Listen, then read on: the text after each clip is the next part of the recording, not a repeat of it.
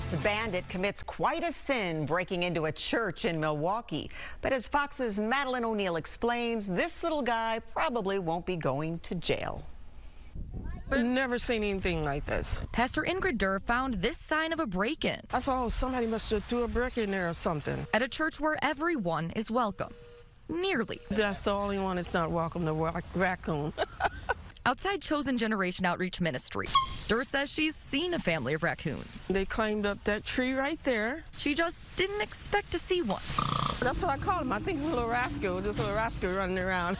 running around inside her church. I'm looking through my phone, my footage, and everything around the building, and that's when I see this little rascal on the table. It seems the bandit's mask wasn't enough to hide its identity. So I walk away, and see the long tail. I said, that's a raccoon. The raccoon was in the church's dining room, caught red-pawed. Wow, he really did a thing in here. Durr recruited some neighborhood help to make sure Rascal left the church. I believe it's a beacon of light here. Which is also a potential beacon for what raccoons love most. It's probably looking for food.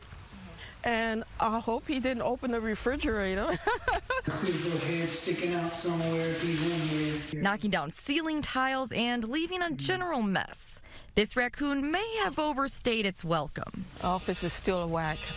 But at least I know what it was now. It was a rascal running around. And that was Madeline O'Neill reporting.